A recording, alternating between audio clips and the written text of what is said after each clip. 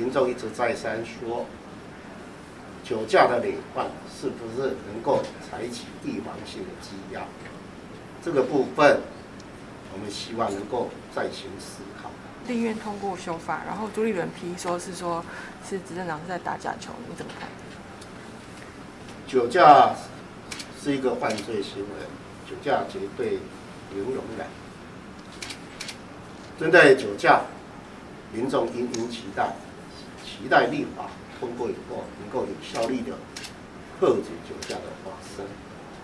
尤其民众一直再三说，酒驾的累犯是不是能够采取预防性的羁押？这个部分，我们希望能够再行思考。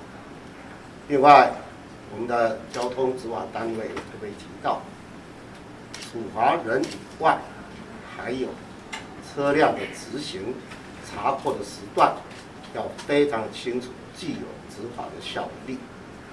这些我想都是在整个立法面里面，我们必须要更做求的。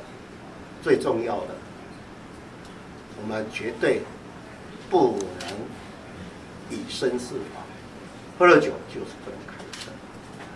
所以在这里特别还是不是以法令界定而已，还是归民众办要自我要求，绝对喝了酒不能开车。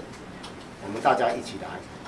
酒驾零容忍，全力防范，不能让事故发生。